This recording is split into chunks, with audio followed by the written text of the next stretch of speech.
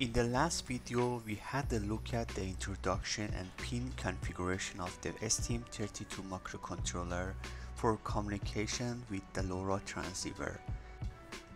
In this video, I will be writing a simple blinky LED example in C++ using a class to ensure that we can configure STM32Cube IDE properly. To do that, we have to set up the IDE properly. We need to set up the IDE to compile the program in C++ and also we need to change the extension of the file from C to C++. Let's do it step by step. First, right click on the project and select convert to C++. By doing that, we tell the compiler whenever is going to compile the program follow C++ syntax. Step number two, we have to rename main.c to main.c++. To ensure everything is fine, let's compile the program first. Alright, looks good. Seems there is no error. The compiler is ready to write a C++ program. Let's get started. I always follow a strategy whenever I'm writing a new program. I create a folder, I call the folder my app.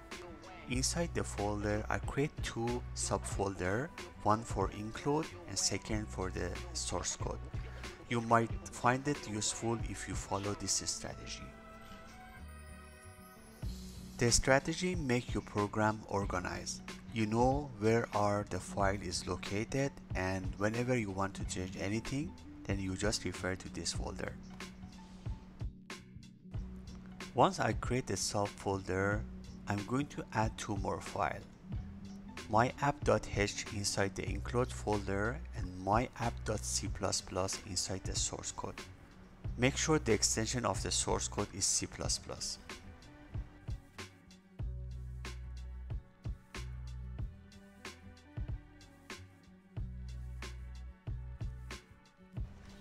Let's compile the program one more time to ensure there is no error. To avoid any future error, we have to add the path of the directory which we already created. To do that, select the project, go to property, make sure you add include folder and also source folder. In the header file, I'm going to declare a class. The class name is LED and it has one public function is called uh, toggle LED. This function is responsible to change the status of the pins which is connected to the LED.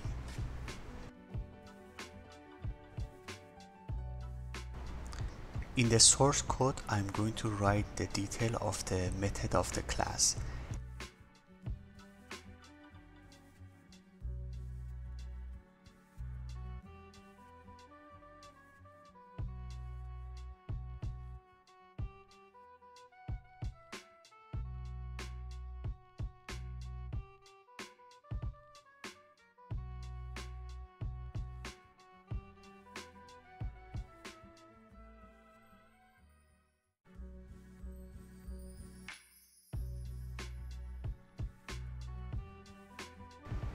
Let me compile the entire code and see whether we have any error. That's great, there is no error. Let me program my board and change the delay. Let me change the value of the function input from 1000 to 100 and see what will happen.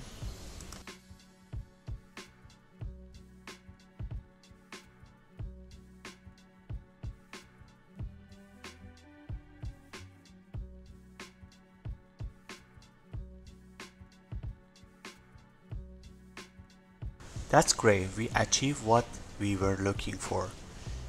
In this video, my goal was to show you how you can write a C++ program inside the STM32 Cube IDE. So this would be the basic or fundamental part of the LoRa programming. In the next video, I'm going to write a program to reset and bring the chip to the standby mode. If you find this series of tutorial video useful, please subscribe to the channel and see you in the next video.